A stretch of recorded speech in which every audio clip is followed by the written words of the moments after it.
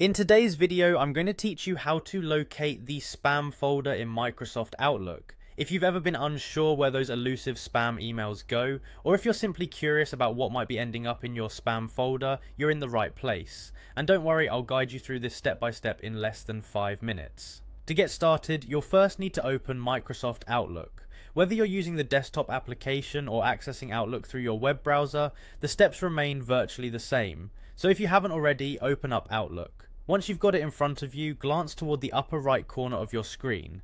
Here you'll see the sign in button. Go ahead and click on that.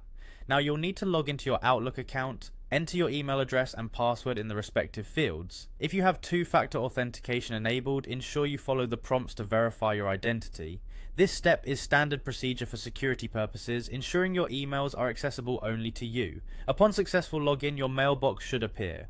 On the left hand side of your screen there is a panel listing various options including inbox, sent items, and more.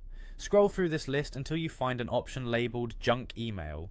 Depending on your screen setup you might need to click more to reveal this option. Once you spot it, give it a click. Accessing the junk email section allows you to review and manage those emails Microsoft has flagged as spam. You might find messages you've been expecting that ended up here by mistake, or discover tons of unwanted emails that Outlook has done a great job of filtering out for you. Take your time to scan through the emails. If you find legitimate messages that don't belong in the spam folder, you can manually move them back to your inbox. Simply right click the email you wish to move, select move, and then choose inbox from the drop down menu.